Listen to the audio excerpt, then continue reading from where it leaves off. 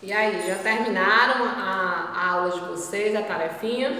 A tia já voltou aqui trazendo a outra atividade, a outra aula de hoje, terça-feira, nossa aula de português, lá na nossa gramática, esse livrinho aqui, que nós estamos aprendendo muitas coisas neste livro, na nossa gramática, e nós vamos é, iniciar fazendo a correção da nossa aula da semana que passou, isso mesmo, que foram exatamente, nós estávamos concluindo o conteúdo sobre sinais gráficos, os acentos, acento agudo e o acento circunflexo. Vocês lembram? O acento agudo é esse aqui e o acento circunflexo é esse aqui que às vezes tem criança que chama ele de quê? De chapeuzinho, mas o nome dele é acento circunflexo, não esqueçam disso. E nós deixamos é, essa página 101, que todas as palavras elas se acentuam com qual acento? Ó, vamos lá. Escreva o nome das figuras, dica, Todas as palavras têm o que? O acento circunflexo, isso mesmo. Fique por dentro.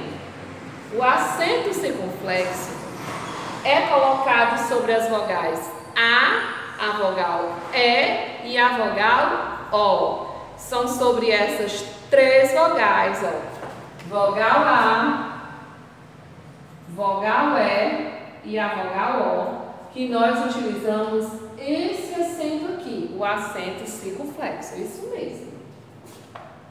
Deixa eu só apagar. Pronto.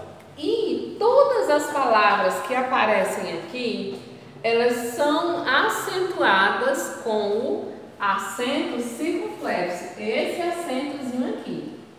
Vamos lá. A primeira imagem que nós estamos vendo aqui, qual é a imagem? É o robô. Nós utilizamos o acento circunflexo na sílaba mais forte e eu sei que o acento é circunflexo quando? Quando o som que nós produzimos da palavra é um som fechado. Por exemplo, robô. Quando eu falo a palavra robô, o som, o movimento da minha boca, ele faz o que? Ele abre ou ele fecha? Ele vai que fechar. Então, isso significa que é o acento circunflexo na palavra robô, na sílaba mais forte.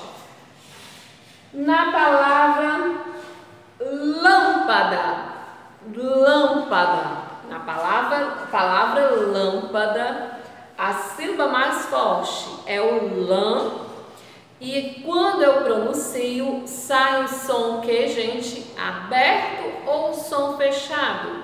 Sai o som fechado. Observe aí. Lâmpada.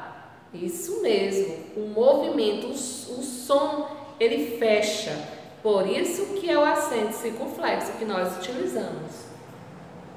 Aqui nós temos a, uma figura, né? Que é um metrô. O metrô, olha aí, metrô tem o som fechado e a sílaba mais forte, quem sabe me dizer? É essa mesmo, alguém soprou no meu ouvido que é o tro. Então é lá no O, porque nós só utilizamos em cima das vogais. Quais são as vogais? A, E e O. Somente nessas três vogais que nós utilizamos o acento circunflexo. Então você coloca o acento lá no O da palavra metrô. Aqui nós temos, parece uma manga, gente, mas não é uma manga, viu? É pêssego. É o pêssego. A palavra pêssego também tem o som que? Aberto ou fechado? Tem o som fechado e é por isso que nós utilizamos o acento circunflexo na sílaba mais forte, que é a sílaba P. Nós temos aqui um brinquedinho chamado ioiô. io, io. Nessa, nessa palavra, quando nós pronunciamos, nós pronunciamos um som aberto ou fechado? Io, io. Isso mesmo, o som fechado. Vocês lembram que eu trouxe para vocês na aula anterior é, da, da nossa gramática duas figuras, uma boca que estava pronunciando som aberto e uma fecha, fechando que estava pronunciando, é, representando o som que? Um som mais fechado. Então aqui na palavra ioiô também tem o som mais fechado e é o acento circunflexo. E na palavra bebê ou neném também produzimos esse som mais fechado e é o acento circunflexo. No último R, tá ok? Lá na página, gente vai fazer rápido essa correção porque na aula anterior de gramática eu lembro que eu respondi quase toda com vocês, então é só para que a gente possa recapitular mesmo o conteúdo. Aqui nessa questão 4, vocês iriam o quê? Acentuar cada uma das palavras dos nomes aqui do quadro. Ou acento circunflexo, ó, o acento circunflexo e o acento agudo aparecem na sílaba mais forte das palavras. Então você vai, é, iria o que? Acentuar todas essas palavras, os nomes das pessoas. A, o nome Ângela Ângela. Para mim pronunciar essa palavra, eu, o som é o que? É um som fechado. E o primeiro, a sílaba mais forte é o an. Som fechado, acento circunflexo. Fabrício, Fabrício. Observa aí como o som já vai aberto, porque o acento agudo. E assim por diante vocês iriam acentuar todas essas palavras. Aqui na questão 5, vocês iriam completar com o nome, ó, enquanto a vovó lê o jornal, o vovô lê a revista. Circulando aqui, ó, de acordo com cada figura, o seu nome, vocês iriam circular. Cuidado que a palavra coco não tem acento, tá bom? Palavra coco não se acentua. Então, coco, nem tem sílaba forte, ó, coco, entendeu? Então, aqui nós temos a palavra co cocô e coco. Coco não tem acento. E aqui babar, babar, tem o acento agudo no último A. Ok? E aqui na página 103, o que é que vocês iriam fazer? Iriam completar, de acordo com a bandeira de cada país, a letrinha que estava faltando. Lembrando que nomes de lugares se começam com a letra o que? Maiúscula. E aqui é, não, vocês iam acentuar tanto com o acento agudo quanto com o, com o acento circunflexo. Eu já recebi praticamente todas as atividades. Aqui vocês iriam fazer o quê? colocar o acento agudo ou o acento circunflexo, observar aqui o mapa, o nome dos estados do nosso país, do Brasil, são 26 estados, e desses 26 estados, oito deles são acentuados com o acento agudo, ou seja, que o som é aberto. Por exemplo, o estado que nós moramos é o estado do Ceará. Ceará, som aberto, acento agudo. Dos 26 estados, oito têm é, o acento agudo e apenas um estado tem o acento circunflexo na escrita da sua palavra. Quem foi que encontrou? Me diga aí, quem sabe qual é? Isso mesmo, eu ouvi alguém dizer assim: tia, é Rondônia. Isso mesmo. A palavra Rondônia é o som mais fechado e por isso nós utilizamos o acento circunflexo, aquele acento ó, que vocês chamam de quê? De chapeuzinho, mas o nome não é esse, tá? O nome é circunflexo e o acento agudo. Terminamos, então nós vamos entrar em um novo assunto, que se chama o quê? S entre vogais e S em final de sílabas. O que é que nós vamos aprender aqui? Ó, tia trouxe alguns exemplos para vocês sobre é, essa aula. Alguns exemplos, algumas figuras. O S, quando o som do, da letra S ela vem no começo, o som da palavra ele não vai mudar ele permanece o mesmo som de S. Por exemplo, na palavra sapato. Na palavra sapato, sapato. Nós podemos observar que o som não mudou. Por que, que não mudou? Porque o S ele está vindo no início da palavra. Mas se o S ele vem no final de uma sílaba, por exemplo, a palavra eu vou até colocar uma que está aqui no livro, biscoitos. Ó. Biscoitos. Observe que o S ele aparece aqui no fim, ó. Biscoitos. Quando ele está aqui no fim, ele não tem o mesmo som de quando ele aparece no início.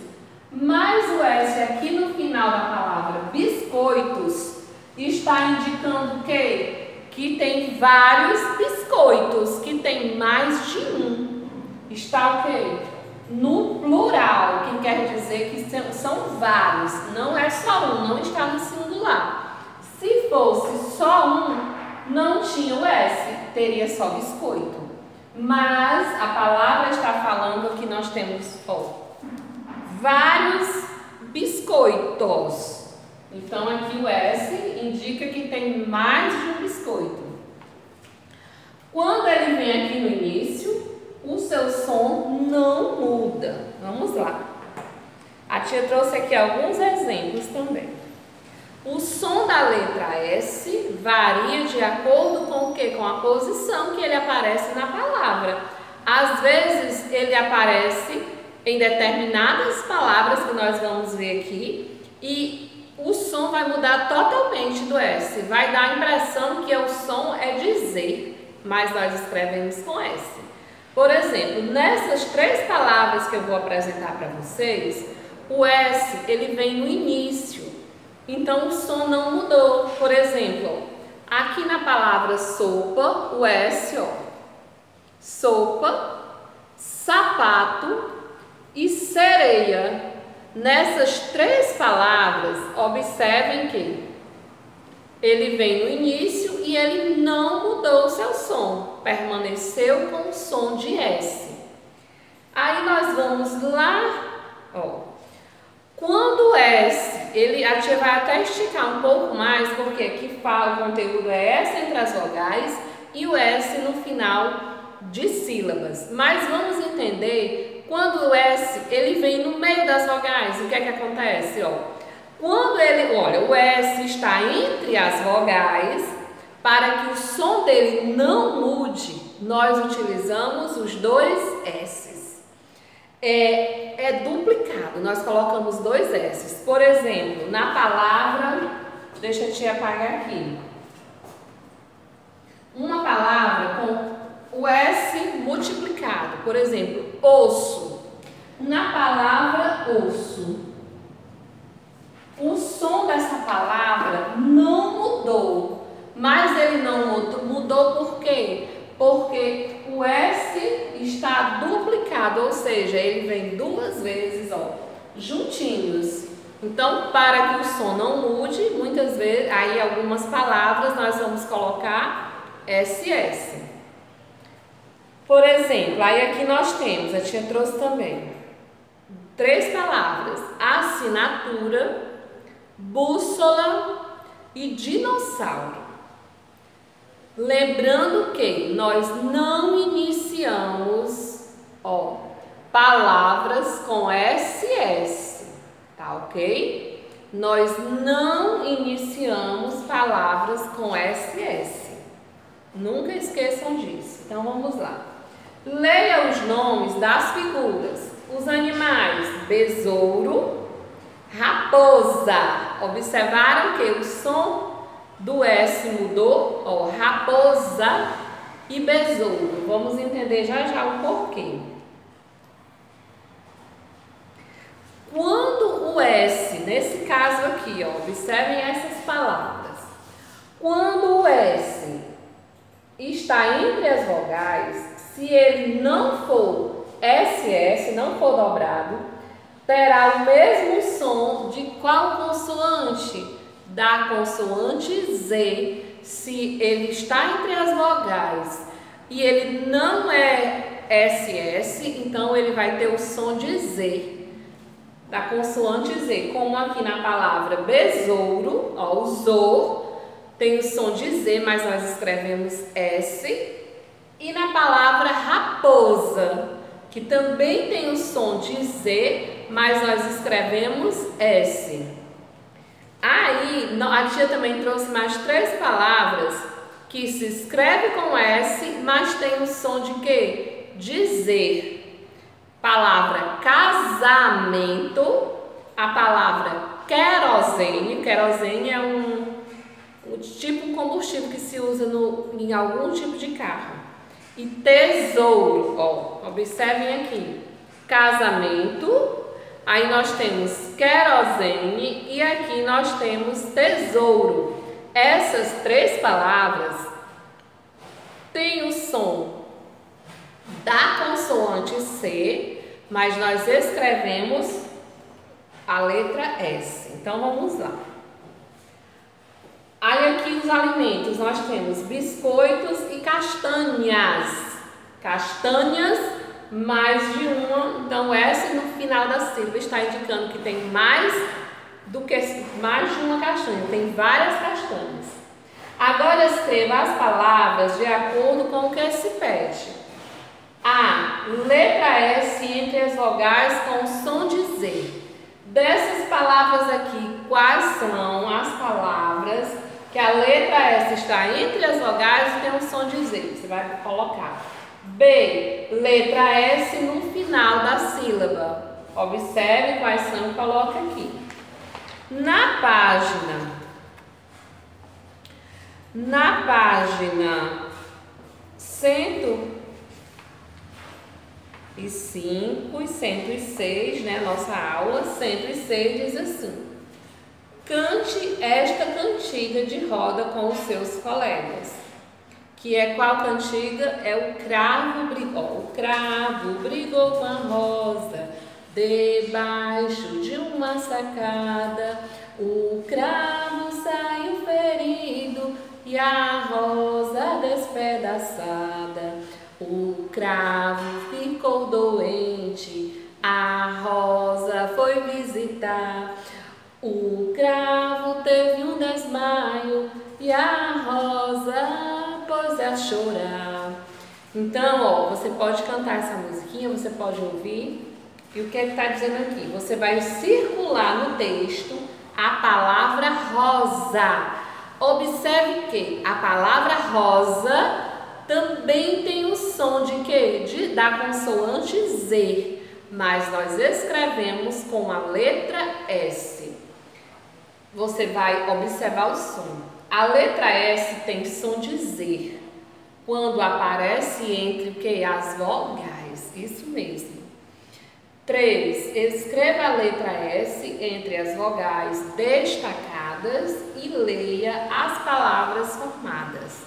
Nós temos aqui quatro imagens, quatro figuras. Você vai colocar a letra S e você vai ler cada uma delas é, que aparecem. O que é, qual é o som? Você vai colocar o S e vai ver qual é o som que o S vai produzir nessas palavras. Leia em voz alta, observe, escuta o som com atenção, para que você consiga diferenciar o som do S quando é o som de Z, mas nós escrevemos com S, tá? Coloca o nomezinho lá no final da atividade, a data no início, tá ok? E façam com bastante carinho e atenção. Tinda vai voltar daqui a pouco para a nossa aula, nossa próxima aula. Até daqui a pouco.